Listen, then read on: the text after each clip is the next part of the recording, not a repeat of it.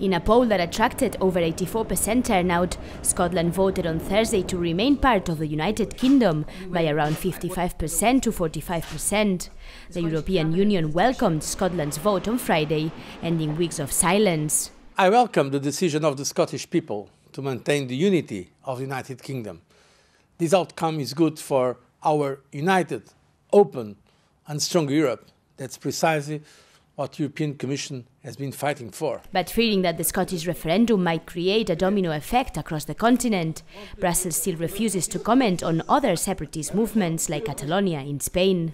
In Madrid, Spanish President Mariano Rajoy expressed his relief at Scotland's decision as the Spanish government struggles to retain the Catalan push for independence. Con su decisión, los escoceses han evitado las graves consecuencias económicas, sociales institucionales y políticas que habría supuesto su separación de Reino Unido y de Europa. Scottish First Minister Alex Salmond accepted defeat early Friday morning and called on the British government to keep its promise of giving more powers to Scotland.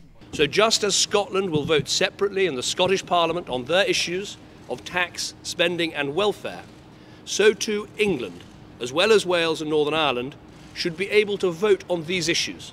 And all this must take place in tandem with and at the same pace as the settlement for Scotland. Cameron said on Friday that greater powers will be given to the Scottish Parliament, particularly over tax, spending and welfare.